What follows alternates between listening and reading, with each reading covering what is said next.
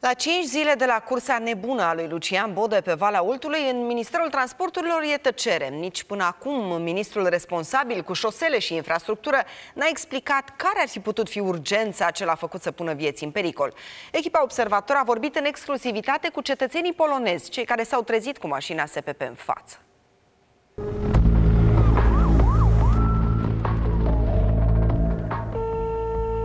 Momentan, clientul apelat nu răspunde. Pentru a cincea zi la rând, ministrul Lucian Bodă tace și se ascunde. Nici o explicație pentru cursa nebună și pentru zecile de vieți puse în pericol pe Valea Oltului. La locul accidentului, cei doi polonezi care s-au trezit cu mașina demnitarului în față încă încearcă să-și recupereze autoturismul. Vacanța lor pe plaiuri mioritice s-a încheiat în sunet de sirene pe un drum cu prioritate doar pentru demnitarii însoțiți de SPP. How many people in the car? How many people? Two people. You have injured? Younger. You are okay?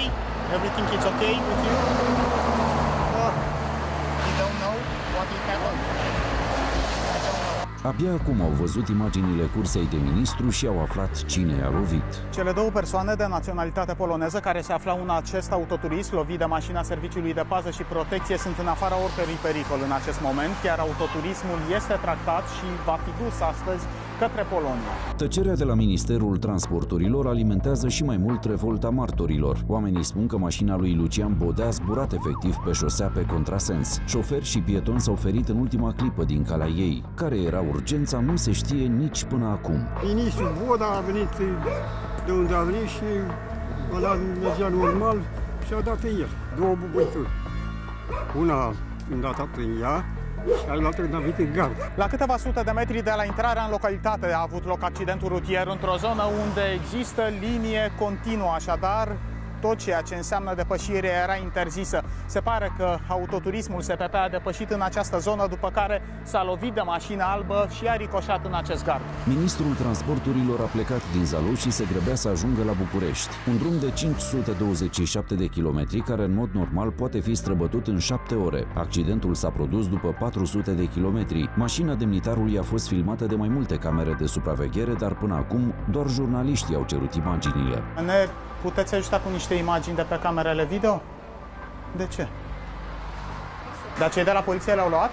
Nici cei de la poliție. Și... Nu se vede nici foarte clar și nu, nu vă ajută cu nimic. E ăla, Tuareg cu sirene. Sigur, nu orice român are semnale acustice și luminoase pentru a se deplasa în 5 ore pe traseul Zalău-București. Și atunci, sigur că nu înțelege necesitatea îmbunătățirii infrastructurii. Goana nebună a demnitarului a fost surprinsă și de o cameră montată pe casca unui motociclist. Clipul postat pe YouTube a strâns peste 170.000 de vizualizări și peste 250 de comentarii. Multe de la șoferii depășiți în grabă de șeful de la transporturi. Halal misiune. Ne-a depășit și pe noi odată pe viaductul de pe Valea Oltului unde nici măcar nu avea oamenii unde să se ferească și încă o dată înainte de zona unde e filmarea. A trecut și pe lângă mine, pe dealul negru, tot așa haotic. Acum înțeleg de ce am făcut două ore de la Milcoiu până în Râmnicu Vâlcea. Drum de 10 minute. O să-l scoată pe șofer, țapi spășitor. Parcă ăla mergea așa, fără ca ministrul să-i spună. Ancheta a fost preluată de parchetul militar, care verifică acum și de ce Serviciul de Protecție și Pază nu a raportat accidentul, deși avea obligația să o facă.